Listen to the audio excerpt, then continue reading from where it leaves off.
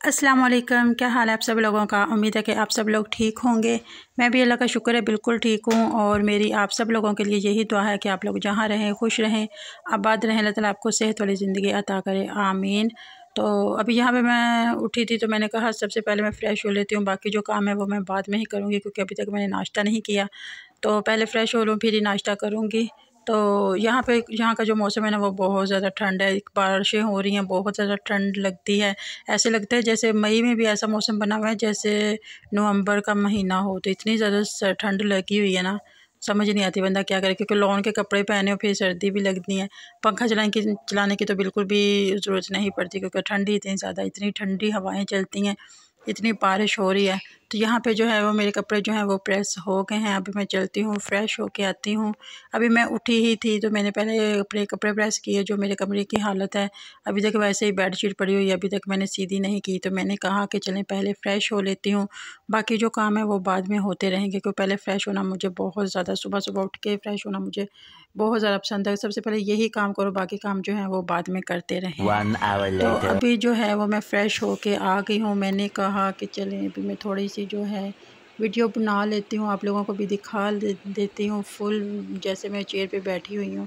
तो अभी यहाँ पे मैं फ़्रेश होके आ गई हूँ। मैंने पंखा चलाया था। मैंने पंखा चला के अपने जो बाल हैं वो मैंने ड्राई किए हैं। यानी कि गीले बाल जो होते हैं ना जब तक वो खुशक ना हो जाए मुझे बड़ा अजीब सा लग रहा है। भले सर्दी भी जब होती है ना तब भी मैंने ये पंखा चला के अपने बालों को जो है ना वो मैंने खुश करना है फिर मैंने बाद में करना है।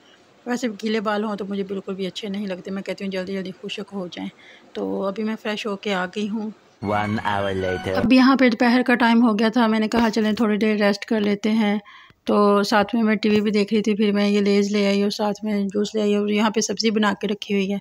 अभी जो है सब्ज़ी भी बनानी है तो मैंने कहा कि मैं थोड़ी देर थक गई हूँ, थोड़ा सा टाइम रेस्ट कर लेती हूँ और वैसे भी मेरा ड्रामे का टाइम हो गया था तो मैंने कहा ड्रामा देखना तो मेरा बहुत ज़रूरी है।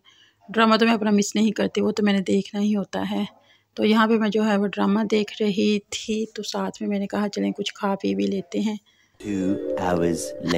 यहाँ पे वो हो गया है शाम का टाइम। मैंने कहा कि चले, खा पी भी लिया रेस्ट भी कर ली सब कुछ कर लिया। तो अब मैं थोड़ी टाइम जो है ना, वो मैं बाहर से फिर के आती हूँ, क्योंकि बाहर का जो मौसम है ना, वो बहुत ही ज़्यादा अच्छा मौसम बना हुआ था। तो दिल करता है कि जब ऐसा मौसम होता है तो दिल करता है कि बंदा बाहर ही रहे। यहाँ पे मैं अपने शूज़ पहन रही थी। तो शूज़ पहनने में थोड़ी सी होती है, थोड़ा, थोड़ी सी नहीं होती, बिल्कुल भी नहीं होती ईज़िली पहन लेती हूँ वैसे। इतना कोई इशू नहीं होता तो आराम से ईज़िली मैं पहन लेती हूँ। तो यहाँ पे मैं शूज़ पहन रही थी, मैंने कहा चलें बाहर चलती हूँ, थोड़े टाइम घूम फिर के आती हूँ, थोड़ा टाइम गुजार के आती हूँ। मौसम इतना अच्छा है ना, इतना अच्छा मौसम हो तो घर में बैठा ही नहीं जाता। दिल करता है कि बंदा बाहर कहीं फिरता रहे।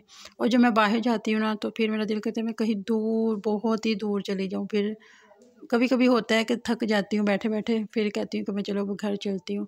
वरना कभी कभी जब मुझे थकन नहीं महसूस होती तो फिर मैं कहती हूँ कि मैं और दूर निकल जाऊँ, बहुत ही ज़्यादा दूर निकल जाऊँ।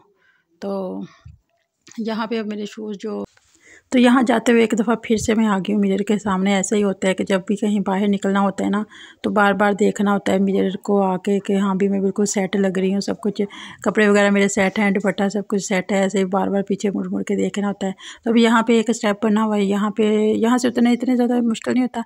ईज़िली मैं उतर जाती हूँ, ज़्यादा मुश्किल नहीं होता।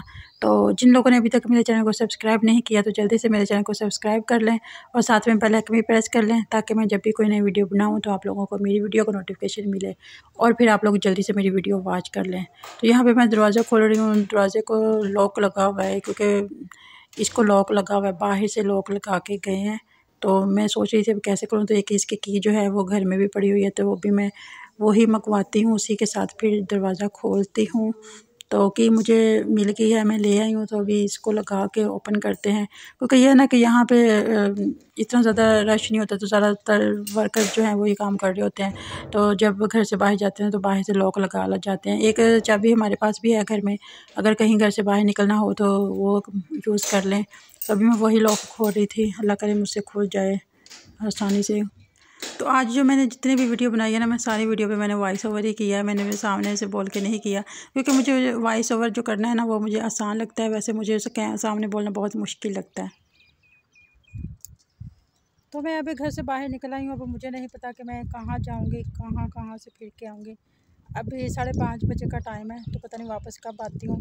तो आज मैं जहाँ भी कहीं जाऊँगी तो आज मैं साथ में वीडियो नहीं बनाऊँगी, क्योंकि फिर मेरी वीडियो जो है, वो काफ़ी ज़्यादा लंबी हो जाती है। तो आज बस मैं ऐसे ही घूमने फिरने जा रही हूँ। आज मैं मोबाइल यूज़ नहीं करूँगी।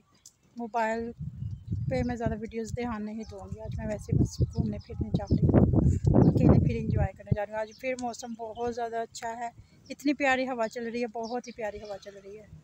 तो बस अब फिर दोबारा जब घर में इंटर होंगी तो फिर मैं दोबारा से वीडियो स्टार्ट करूँगी।